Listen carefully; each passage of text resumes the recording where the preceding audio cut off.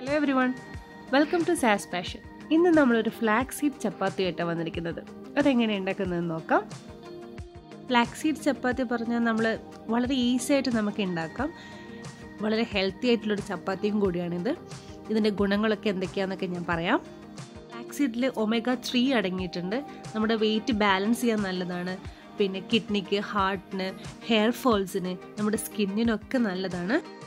ഞാനിപ്പോൾ ഒരു നാല് കപ്പ് ആട്ടപ്പൊടിയാണ് എടുത്തിട്ടുള്ളത്. ഈ നാല് കപ്പ് ആട്ടപ്പൊടി നിങ്ങൾക്ക് ക്വാണ്ടിറ്റി അനുസരിച്ച് കുറക്കാം. സാധാരണ നിങ്ങൾ ചപ്പാത്തി ഉണ്ടാക്കുന്ന അതേ ക്വാണ്ടിറ്റിയാണ് ഞാനിപ്പോൾ നാല് കപ്പ് ആട്ടപ്പൊടി എടുത്തിട്ടുണ്ട്. അതിൽ രണ്ട് ടേബിൾ സ്പൂണ് ഫ്ലാക്സീഡ് പൊടിച്ചതും ആവശ്യത്തിന് ഉപ്പും ഇട്ട് ഞാൻ നല്ലോണം സാധാരണ ചപ്പാത്തിക്ക് വേണ്ട പാകത്തിൽ കുഴച്ചെടുത്തിട്ടുള്ളത് ഞാൻ പച്ചവെള്ളത്തിൽ തന്നെയാണ് കുഴച്ചത്. ചൂടുവെള്ളമൊന്നും യൂസ് ചെയ്തിട്ടില്ല.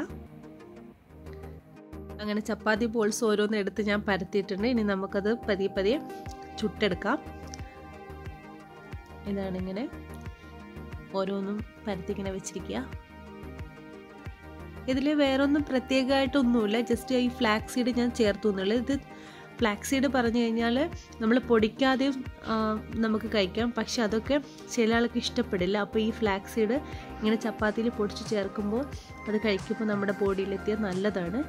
ഹെയർ ഫോൾസിനൊക്കെ നല്ലതാണ്. പിന്നെ ഇമ്മ്യൂണിറ്റി പിന്നെ ഹോർമോൺസിന്റെ പ്രശ്നമുള്ളവർക്ക് ഒക്കെ നല്ലതാണ്. അങ്ങനെ സാധാരണ ചുടുന്നത് പോലെ ഞാൻ ചപ്പാത്തി ചുട്ടെടുക്കുകയാണ് നല്ലോണം പൊങ്ങി വരുന്നുണ്ട്. നിങ്ങൾക്ക് കാണാം. ഞാൻ ഓയിലൊന്നും യൂസ് ചെയ്തിട്ടില്ല. സാധാരണ രീതിയിൽ ചപ്പാത്തി ചുടുന്നത് പോലെ തന്നെ ചുട്ടത്. ആ പൊങ്ങി വന്നിട്ടുണ്ട്. നല്ല സോഫ്റ്റ് ആയിട്ടുള്ള ചപ്പാത്തി ഇത് ഞാനൊരു ബർഗർ മസാല കറിയാണ്. ഇത് ഇതിന്റെ റെസിപ്പി വേണമെങ്കിൽ നിങ്ങൾക്ക് ഡിസ്ക്രിപ്ഷൻ ബോക്സിൽ ഞാൻ ലിങ്ക് ഇടുന്നതായിരിക്കും. അപ്പോൾ എല്ലാവരും ഇത് ട്രൈ ചെയ്യണം ഫ്ലാക്സ് സീഡ് ചപ്പാത്തി. എല്ലാവർക്കും ഇഷ്ടപ്പെട്ടു എന്ന് കരുതുന്നു.